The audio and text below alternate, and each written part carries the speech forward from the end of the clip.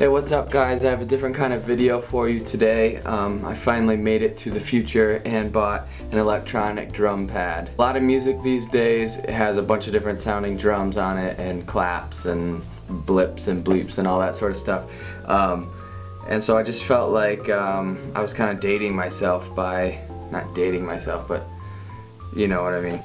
Uh, dating myself by not you know, kind of having a hybrid setup. So I haven't even opened this box yet or messed with the sample pad at all. But one thing I love about it is the price. It is cheap. It's not $800, $900. So that is great. And no, I'm not getting paid to say this. I paid money to say this. So um, I did purchase this. Um, so let's get started.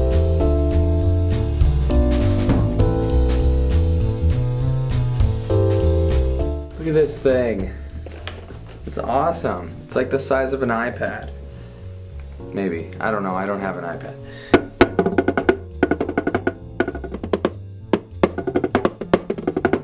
Alright, so we have this little box here. Power cable.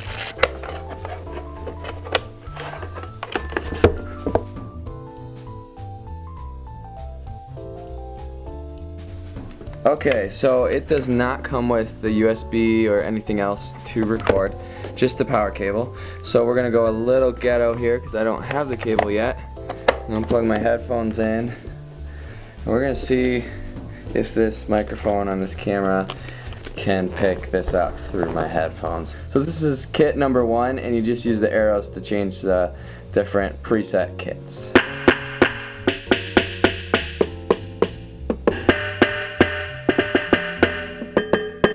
All right. Anyway, so that is uh, it's really responsive, which is nice. It like I don't have to like even the the subtlest of hits, even my little ghost notes on it are being picked up, which is great.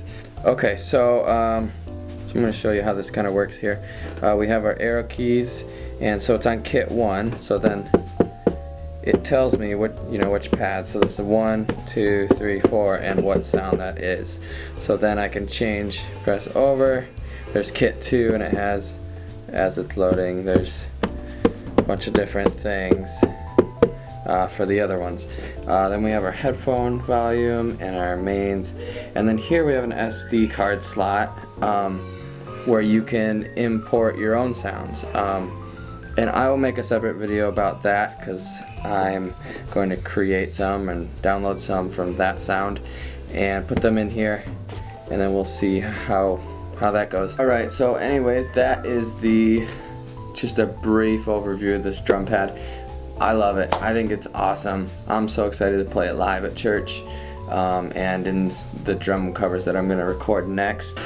Um, yeah, that's it. So thanks for watching, guys. Um, you guys should definitely get this. It's like awesome and super tiny and great. Anyways, I'll see you guys on the next video. Goodbye.